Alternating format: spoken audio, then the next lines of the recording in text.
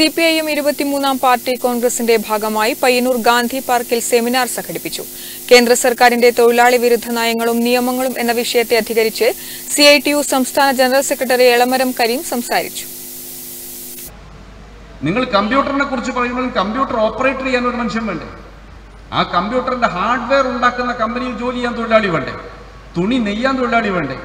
എല്ലാറ്റിനും വേണം തൊഴിലാളി. തൊഴിലാളികളുടെ അധ്വാനമില്ലാതെ മനുഷ്യാധ്വാനമില്ലാതെ ഈ ലോകത്തൊന്നും സംഭവിക്കില്ല. അധ്വാനമാണ് സമ്പത്ത് സൃഷ്ടിക്കുന്നത്. നിങ്ങൾ വയലിലൂടെ നടന്നു പോകുമ്പോൾ ആ വയലിൽ കാണുന്ന ഒരു ഒരു പിടി കളിമണ്ണെടുത്ത് വെറുതെ അങ്ങനെ കയ്യിൽ വെച്ച് നോക്കി. അതിനെന്താ ഇപ്പൊ പ്രത്യേകത? ഒന്നുമില്ല. ഒരു പിടി മണ്ണ്. എന്നാൽ മനുഷ്യന്റെ ഏതെങ്കിലും ഒരാവശ്യം നിർവഹിക്കുന്ന അതിനുപകരിക്കുന്ന ഒരു പാത്രമാവട്ടെ എന്ന ഉദ്ദേശത്തോടു കൂടി അതിൽ സ്വല്പനേരം ഒരു മനുഷ്യൻ ജോലി ചെയ്യുമ്പോൾ അതൊരു മൺകുടമായി മാറും. അപ്പോൾ അതിനൊരു വിലയായി മൂല്യമായി. അമ്പത് രൂപ നൂറ് രൂപ. ഈ മണ്ണ് അവിടെ കിടക്കുമ്പോൾ ആരും കൊടുക്കുന്നു ഈ വില? നമ്മുടെ മുന്നിൽ കാണുന്ന ഈ കെട്ടിടങ്ങളെല്ലാം മനുഷ്യാധ്വാനത്തിന്റെ സൗന്ദര്യങ്ങളാണ്. അതിനുപയോഗിച്ച കല്ല് അതിനുപയോഗിച്ച സിമെന്റ് അതിനുപയോഗിച്ച കമ്പികൾ അതിനുപയോഗിച്ച മരം എല്ലാം ഈ ഭൂമിയിലുണ്ടായിരുന്നതാണ് അതിൽ മനുഷ്യ മനുഷ്യാധ്വാനം നടത്തി രൂപാന്തരം ചെയ്തുണ്ടായതാണ് ഈ വലിയ സമ്പത്ത്.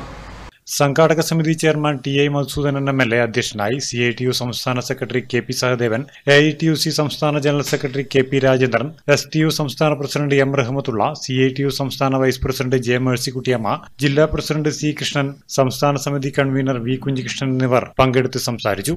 Network news Payyanur.